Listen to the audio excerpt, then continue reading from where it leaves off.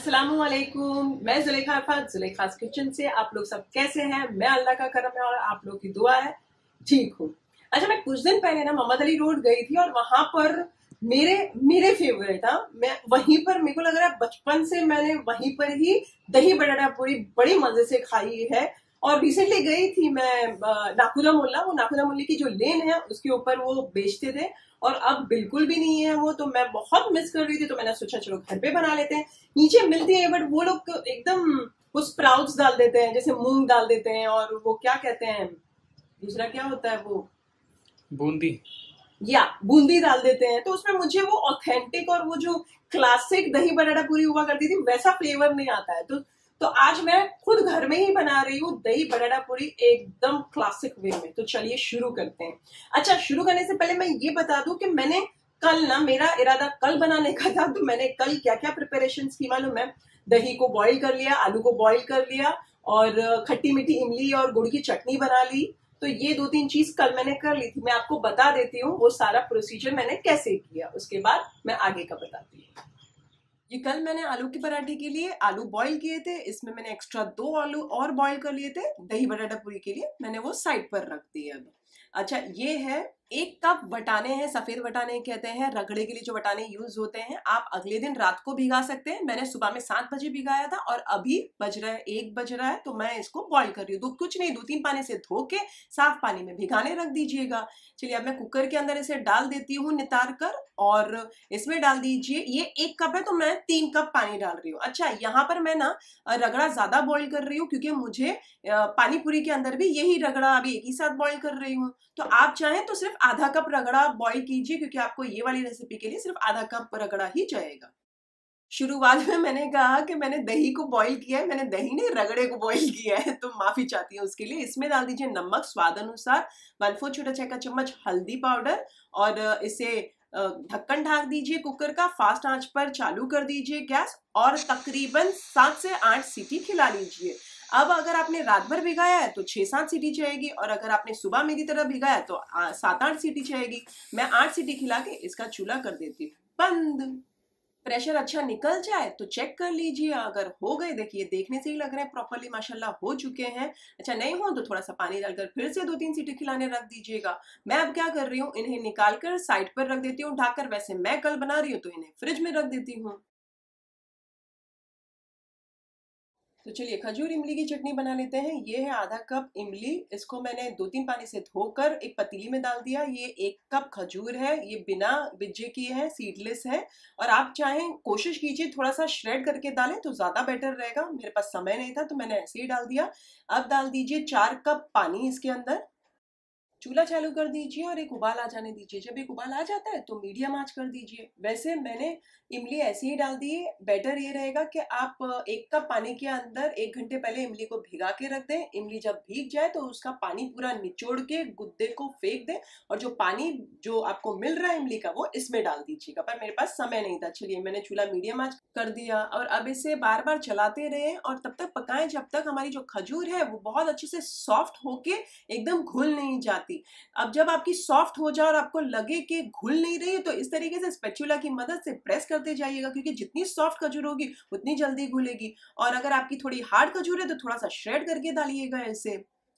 ये देखिए, कुछ देर में अच्छी घुल गई है तो यहाँ पर मैं डाल देती हूँ वन फोर छोटा चाय का चम्मच पादरा नमक। काला नमक जिसे कहते हैं, ये डाल दीजिए। एक छोटा चाय का चम्मच धनिया पाउडर डाल दीजिए और एक छोटा चाय का चम्मच कश्मीरी लाल मिर्च पाउडर डाल दीजिए। कम या ज़्यादा ये सारी चीज़ें अपने स्वाद अनुसार आप कर सकते हैं।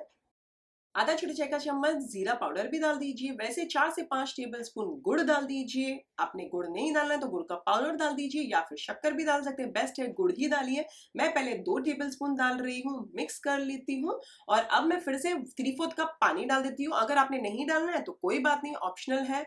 इसमें मुझे गुड़ कम लग रहा है, मैंने चखा था तो मैं अब दो तीन टेबल स्पून और ऊपर से डाल रही हूँ। सादा नमक थोड़ा सा डाल दीजिए, मिक्स कर लीजिए। और चख लीजिए, कुछ कम लगे तो एडजस्ट कर लीजिएगा और इसे तकरीबन पाँच छः मिनट तक मीडियम आँच पर पकने दें। बार बार चलाते रहें। जब पाँच छः मिनट हो जाए तो बंद कर दीजिए चूल्हा और इसे पूरी तरीके से कम्प्लीटली ठंडा हो जाने दीजिए। जब अच्छा ठंडा हो जाता है और इसे मिक्सर जार के अंदर डालकर बैचेस में पीस लीजिए। मैंने थोड़ा सा पानी डाला था पीसने के टाइम पे। टोटल मैंने वन फोर्थ कप डाला है। दोनों बार one eighth cup one eighth cup डाला था। दो बैचेस में मैंने इसे पीसा है और बाकी जो पीसने के बाद इसे छान लीजिए। चलिए, मैंने सारा छान लिया है। इसे बर्तन में निकाल कर कांच की शीशी में निकाल कर मैं ढाक कर फ्रिज में रख देती हूँ। तो ये देखिए, ये मैंने दो पूरे इतने निकले हैं। गुड़, इमली की चटनी चटपटी सी, मज़ेदार सी बना के रख दी है। मैं थोड़ी दिन तक थोड़ा चाट बनाने की कोशिश में लगी हुई हूँ तो मैंने ज़्यादा बनाई है। आपको कम बनानी है तो जो भी क्वांटिटी मैंने ली है, उसकी आप आधी लीजिए। आपको उससे और ज़्यादा कम बनानी है तो मैंने जो क्वांटिटी ली है, उसको वन फोर्थ कर दीजिए और उसमें उतना बना लीजिएगा। मैं ज़्यादा बनाई हूँ क्योंकि मुझे कल पानी पूरी भी बनानी है, दही भले भी बनाने हैं तो मैंने सोचा एक साथ ही सारा प्रिपरेशन कर लू। और ये है ना तकरीबन आप फ्रिज में रखे ना पंद्रह बीस दिन तक आराम से खा सकते हैं। जब भी मन करे, निकाल लीजिए, लेकिन हाँ फ्रेश चम्मच लीजिएगा और चम्मच को अच्छे से धो के पोच के फिर डालिएगा, झूठा चम्मच मत डालिएगा तो उससे क्या हमारी चटनियाँ हैं, हमारी जो भी चीज़ आप फ्रिज में रखते हो, वो काफ़ी दिनों तक चलती है। ठीक है ना? तो चलिए, अब हम दही को बड़ा फटाफट फेट के साइड पर फ्रिज में रख देते हैं। एक बाउल के अंदर आधा कप भर कर दही डालिए, एक टेबल स्पून शक्कर डाल दीजिए, हल्का सा चुटकी भर हमारा सादा नमक डालिए और चुटकी भर हमारा पादड़ा नमक जो आता है वो डाल दीजिए। बहुत अच्छे से मिक्स कर लीजिए, फेंट लीजिए। जब शक्कर अच्छे से घुल जाए पूरी तरीके से, चख लीजिए। कम लगे तो थोड़ा और डालकर फेंट लीजिएगा। अच्छा टेस्ट, बैलेंस बराबर मीठा लगे ये दही तो ढाक कर इसे फ्रिज में ठंडी होने के लिए रख दीजिए। आलूओं को छील लीजिए और रफली बारीक काट लीजिए। इसमें डाल दीजिए वन फोर छोटे चाय का चम्मच कश्मीरी लाल मिर्च पाउडर, नमक, स्वाद अनुसार वन फोर छोटे चाय का चम्मच चाट मसाला और वन फोर छोटे चाय का चम्मच भुना हुआ और पिसा हुआ जीरा पाउडर। सारी चीज़ों को मिक्स कर कर साइड पर रख दीजिए। वैसे ये सारी चीज़ें नहीं भी डालनी है आपको तो सिर्फ़ आलू छील कर रफली चॉप करके साइड पर रख दीजिए। जैसे मैंने आपके साथ शेयर किया, एक दिन पहले मैंने रगड़ा बना लिया है तो इसमें से अब मैं आधा रगड़ा जो पका हुआ है, ये बर्तन में डाल रही हूँ। इसका चूल्हा चालू कर दीजिए फास्ट आँच पर। इसमें वन फोर्थ कप जितना पानी डाल दीजिए। वन फोर्थ छोटा चाय का चम्मच भुना हुआ पिसा हुआ जीरा पाउडर डाल दीजिए। वन फोर्थ छोटा चाय का चम्मच कश्मीरी लाल मिर्च पाउडर डाल दीजिए। नमक डाल दीजिए हल्का सा चुटकी भरा। और वन फोर्थ छोटा चाय का चम्मच चाट मसाला डालकर मिक्स कीजिए। एक उबाल आ जाए फास्ट आँच पर तो स्लो आँच करके चार से पाँच मिनट तक इसे पकने दीजिए। अच्छा आपने ये मसाले सारे नहीं डालने? कोई बात नहीं, मत डालिएगा। सादा रगड़ा भी आप रख सकते हैं, लेकिन थोड़ा सा उसे पानी डालकर पका लीजिएगा। जैसे ये देखिए चार पाँच मिनट के बाद आप देख सकते हैं कैसा थिक हो चुका है और गाढ़ा गाढ़ा सा हो चुका है और सिर्फ़ रगड़ा रगड़ा नहीं दिख रहा है, थोड़ा ग्रेवी टाइप लग रहा है तो मैं चूल्हा कर देती हूँ। बंद, आपने भी वैसा ही रखना है। चलिए, इसके बाद हम क्विकली अभी हरी चटनी बना लेते हैं। उसके लिए मैंने एक छोटी सी थी मेरे पास कोथमीर की झूड़ी, हरे धनिया की झूड़ी। तो उसे मैंने दो तीन पानी से धो के नितार कर मिक्सर जार के अंदर डाल दीजिए, उसमें डाल दीजिए आठ दस धोए हुए कड़ी पत्ते, दो तीन हरी मिर्चियाँ, पाँच छः कली लहसन की, डेढ़ से दो टेबल स्पून धोए हुए पुदीने के पत्ते, एक छोटे चाय का चम्मच साबुत ज़ीरा, थोड़ा सा नमक स्वाद अनुसार एक छोटा चाय का चम्मच शक्कर कम या ज़्यादा अपने स्वाद अनुसार डाल सकते हैं, सिर्फ़ बैलेंस के लिए डाल रही हूँ और थोड़ी सी इमली धोई हुई। थोड़ा सा पानी डाल दीजिए और बहुत अच्छे से बारीक पीस लीजिए इसे, इस तरीके से। चख लीजिए, कुछ कम लगे तो एडजस्ट कर लीजिएगा। मेरी परफेक्ट है, मैं इसे कांच की शीशी में निकाल कर साइड पर रख देती हूँ। तो आपने देखा, मटर को मैंने थोड़ा सा और फिर से फ्राई कर लिया थोड़ा सा पानी डाल के बॉईल कर लिया कि थोड़ा सा एकदम गाढ़ा गाढ़ा हो जाए। आपको नहीं करना तो कोई बात नहीं। मैंने थोड़ा मसाला भी डाला है, आपने नहीं डालना कोई बात नहीं, मत डालिएगा। अच्छा मैंने ये हरी चटनी बना ली है, जैसे अभी आपने देखा तो अब क्विकली हम असेंबल करते हैं हमारी दही बटाटा पूरी मज़ेदार सी, चटपटी सी एकदम। सबसे फेवरेट पार्ट है मेरा ये ये सारी चीज़ें असेंबलिंग के लिए चाहिएगी और यहाँ पर मैंने छह पूरियाँ है। एक पूरी लीजिए, उंगली की मदद से, बीच में गड्ढा कीजिए, थोड़ा बड़ा कीजिएगा गड्ढा हाँ। अब सारी छह हो जाए पूरियों को तो अब इसमें डाल दीजिए आलू। अच्छा मैंने थोड़े मसाले वाले करे हैं आपने देख सकते हैं। आप बिना मसाले वाले किए हो तो सादे डाल दीजिए। थोड़ा सा उंगलियों की मदद से थोड़ा सा प्रेस कर लें और फिर डालें। तो थोड़े से मैश और ज़्यादा हो जाएँगे।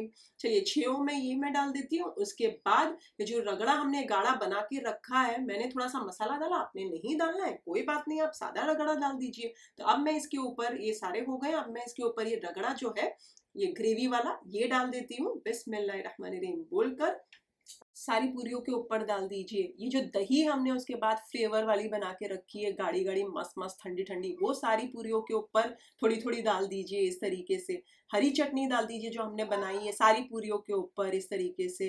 फिर ये जो गुड़ इमली की चटनी है, वो भी डाल दीजिए सारी पूरी के ऊपर इस तरीके से। थोड़ा सा भुना हुआ और पीसा हुआ ज़ीरा पाउडर डाल दीजिए सारी पूरियों के ऊपर। कश्मीरी लाल मिर्च पाउडर स्प्रिंकल कर दीजिए सारी पूरियों के ऊपर। थोड़ा सा चाट मसाला स्प्रिंकल कीजिए थोड़ा सा पादड़ा नमक स्प्रिंकल कीजिए और थोड़ा सा सेव डाल दीजिए। आप कम या ज़्यादा अपने स्वाद अनुसार ये सारी चीज़ें कर सकते हैं। अब फिर से मैं ये जो बचा हुआ रगड़ा है ना, ये थोड़ा थोड़ा और डाल रही हूँ, बढ़िया सा ग्रेवी वाला। और इसके ऊपर फिर से मैं दही और ज़्यादा डाल रही हूँ। कम या ज़्यादा ये सारी चीज़ों का आप अपने स्वाद अनुसार कर सकते हैं। फिर से मैं थोड़ी सी चटनियाँ डाल रही हूँ सारी पूरियों के ऊपर और फिर लास्टली ये वाली चटनी डाल रही हूँ, गुड़ इमली की चटनी। पहले आपने देखा हरी इमली की चटनी डाली थी। फिर से मैं थोड़ा सा दही डाल रही हूँ। दही तो मज़ेदार, दही बटाटा पूरी है तो मज़ेदार दही से ही लगेगा। थोड़ा सा चाट मसाला थोड़ा सा ज़ीरा पाउडर थोड़ा सा कश्मीरी लाल मिर्च पाउडर थोड़ा सा पादड़ा नमक, काला नमक जिसे कहते हैं, और थोड़ी सी सेब डाल दीजिए। नाइलॉन सेब आती है ना, वो। और थोड़ी ज़्यादा डालना है तो ज़्यादा डाल सकते हैं और ठंडी ठंडी सर्व कीजिए हमारी मज़ेदार सी दही बटाटा पूरी। अच्छा आप थोड़ा सा ऊपर डालना चाहें तो चटनियाँ वगैरह साइड पर रखिए और दही भी साइड पर रखिए, जो भी डालना है आप डाल सकते हैं ऊपर से। तो ये बन चुका है और आप देख सकते हैं। चलिए आइए बोलिए बिस्मिल्लाह मेरे साथ। मैं स्टार्ट कर रही हूँ। बिस्मिल्लाह रहमान मैं आपको खा के भी दिखा देती हूँ। बिस्मिल्लाह।